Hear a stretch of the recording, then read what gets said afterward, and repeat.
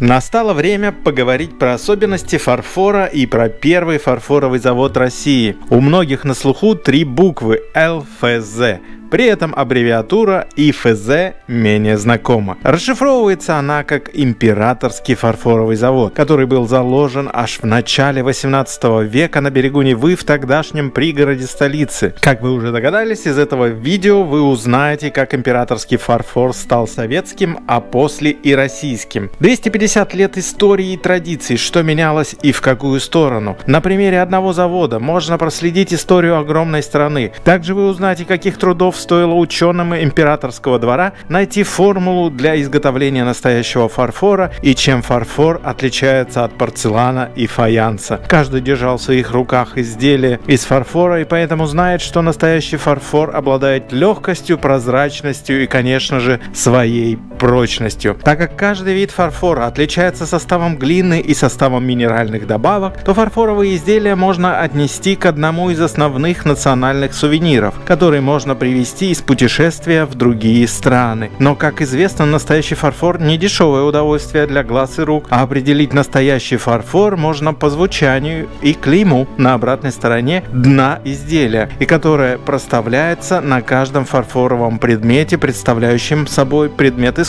Фарфор, как и хрусталь, из-за небольшой толщины имеет звонкое звучание. Фаянс и другие виды керамики издают глухой низкий звук. Фарфор значительно дороже фаянса, поэтому чаще всего из фарфора делают всевозможные статуэтки и сувениры, а из фаянса предметы быта. Различают твердый фарфор, мягкий и костяной фарфор. В состав костяного фарфора входит зола костей крупного рогатого скота. Костяной фарфор отличается высокой белизной, просвечиваемостью и декоративностью, но такой фарфор легко деформируется в обжиге. Подглазурная роспись самая ценная, поскольку десятилетиями сохраняет четкий рисунок, малейшие детали. Некоторые лайфхаки, которые помогут вам определить настоящий это фарфор или нет. А мы же возвращаемся к истории ИФЗ, то есть Императорского фарфорового завода, который был заложен в 10 верстах от центра Петербурга на левом берегу Невы. Сегодня ИФЗ продолжает старые традиции и радует не только любителей фарфора. При заводе имеется музей, после посещения которого я любезно делюсь с вами этой долгой фарфоровой историей, которая искушена веками и тем самым прочна. Хочется добавить, что камера не передает всех тех тонкостей фарфорового дела, которые могут порадовать ваши чувства при рассмотрении предметов искусства вживую в музее. Поэтому сразу скажу, что мое видео рассказывает про историю фарфорового дела в России и носит ознакомительный характер с предметами, представленными в музее. А вам, конечно, советую лично посетить музей ИФЗ, если вы его еще не посещали. Если же вы хотите посетить Санкт-Петербург и оказаться не только в шикарном центре городского музея под открытым небом, то советую проехаться на трамвае от площади Александра Невского по левому или правому берегу Невы и увидеть жизнь окраины этого замечательного города. Понятие пригородов давным-давно было пересмотрено и теперь относится к Петергофу, Пушкину, Ломоносову и так далее с их дворцовыми ансамблями и парками. Современный же фарфоровый завод и музей при нем располагается сегодня недалеко от метро Ломоносовская и недалеко от Володарского моста. Поэтому, если вы путешествуете летом, то смело в трамвай и посмотрите бывшие пригороды города, где располагались различные производства. Возвращаясь к годам основания завода, сразу появляется вопрос, почему местоположение было выбрано так далеко от центра и почему завод расположили рядом с водой. Выбор места для ИФЗ определялся расположением здесь Невских казенных кирпичных и черепичных заводов, заложенных еще при Петре I. Для постройки новой столицы требовались стройматериалы.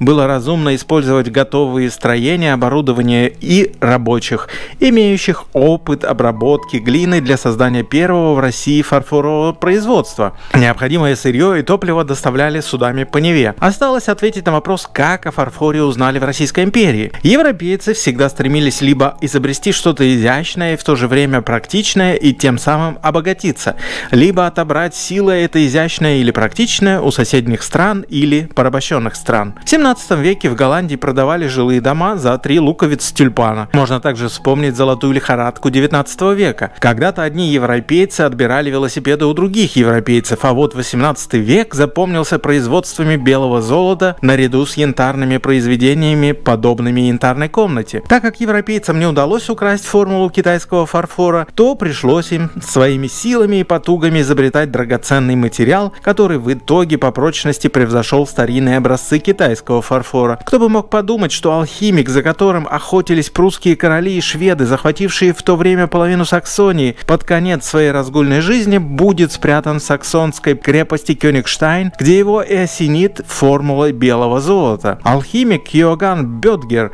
полагал, что для производства золота нужен тигель, способный выдерживать намного более высокие температуры, чем обычный глиняный сосуд. И в 1706 году в замке Альбрехтсбург Мейсон необходимый материал был создан. Таким образом был изобретен мейсонский фарфор, который использовался в качестве дипломатических подарков российским императрицам. В 1744 году Елизавета Петровна решила заложить собственное порцелиновое производство в Санкт-Петербурге. Для этого в Стокгольме даже завербовали немецкого проходимца под именем Гунгер, как это выяснилось позже. Но изначально он зарекомендовал себя как эксперт в производстве саксонского порцелана. Гунгеру представили молодого горного инженера, друга Михаила Ломоносова Дмитрия Виноградова. В качестве итога четырехлетней работы Гунгер смог продемонстрировать несколько кривых форм наподобие чашек. После этого его погнали в зашей, а вся работа по нахождению отечественной формулы фарфора легла на плечи Виноградова, который не покидал стены фарфорового завода и постоянно трудился. За два года непосильной работы ученый Дмитрий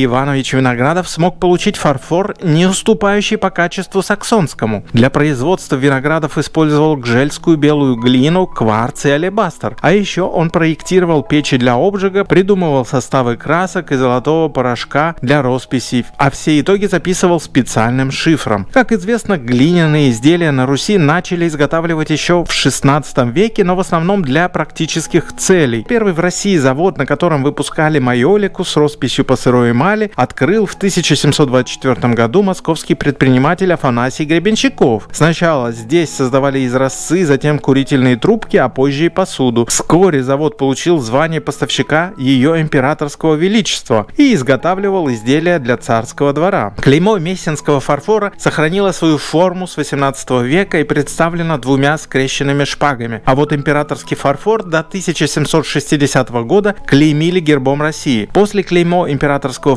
фарфорового завода претерпело множество изменений, связанных с властью в определенный период времени, поэтому клейма и ФЗ неразрывно отражают историю России. С приходом на престол Екатерины II порцелиновую мануфактуру реорганизовали и переименовали в императорский фарфоровый завод. В это время на императорском фарфоровом заводе была создана специальная серия статуэток народы России. Этим заказом руководил Яков Рашет. После воцарения Павла I ко двору продолжали заказывать посуду и предметы быта. Последний сервис 18 века создали на ИФЗ для любимого детища Павла I Михайловского замка. И именно он украшал стол накануне той ночи, когда погиб император. При Александре I на чашки наносили портреты императоров, известных людей эпохи и полководцев. Также на заводе выпускали вазы, помимо богатой росписи, их украшали позолотой и объемными декоративными элементами. Александр III ввел традицию изготавливать все заказы венценосной семьи в двух экземплярах. Один передавался музею ИФЗ. Традиция сохранилась и в советское время, когда предприятие стало называться ЛФЗ – Ленинградский фарфоровый завод. Здесь можно уже видеть конец 19-го, начала 20 века. Можно видеть различные абстрактные формы. То есть отходим от реальности даже в фарфоре и приходим к каким-то уже более абстрактным формам, абстрактным рисункам, сочетанию абстрактных цветов. Посмотрите, например, бутыль 1892 года.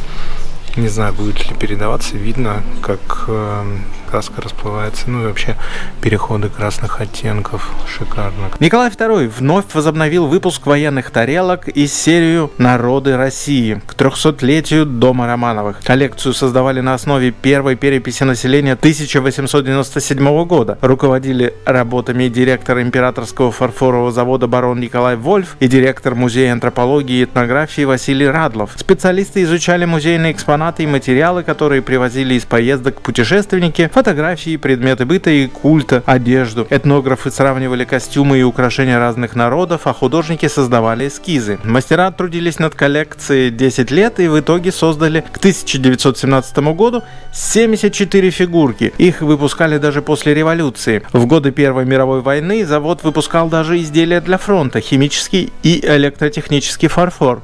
Перед началом Первой мировой войны. Давайте посмотрим.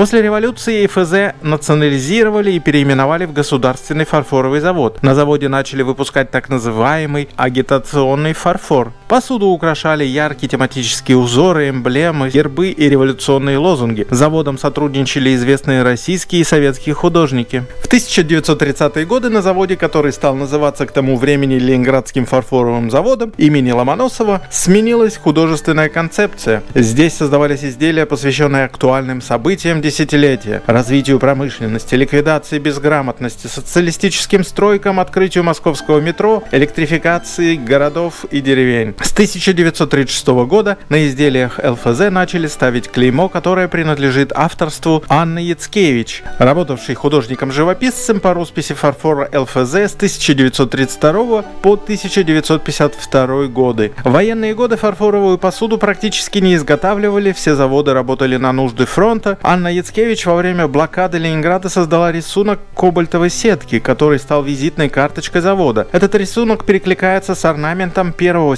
сервиза, изготовленным Дмитрием Виноградовым. Пересечение синих линий находит подобие с полосками бумаги, которые крест-накрест заклеивали стекла в окнах, чтобы снизить риск ранения людей осколками. Другая история рассказывает, что Анна Яцкевич, как и другие жители осажденного города, была ослаблена голодом. Водопровод не работал, а изможденные люди, страдая от холода, были вынуждены ходить за водой к проруби. Зимний день короток, уже в темноте Анна набирала воду, когда начался артобстрел. Лучи прожекторов обшаривали небо в поисках вражеских самолетов, у женщины от слабости кружилась голова. В этот момент она увидела в темной ледяной воде проруби перекрещивающиеся отражения световых лучей, дрожащие, изменчивые. Это было настолько прекрасно, что страх отступил, и Анна поверила в то, что будет жить. Анна Яцкевич выжила, потеряв 1942 году мать и сестру, умерших от голода. После 1945 года декор бытовых предметов прославлял победу, подвиги советских солдат и офицеров. В то время интерьеры часто украшали статуэтками, которые были доступными и недорогими. Скульпторы Вера Драченская и Борис Воробьев создавали целые серии с дикими домашними животными.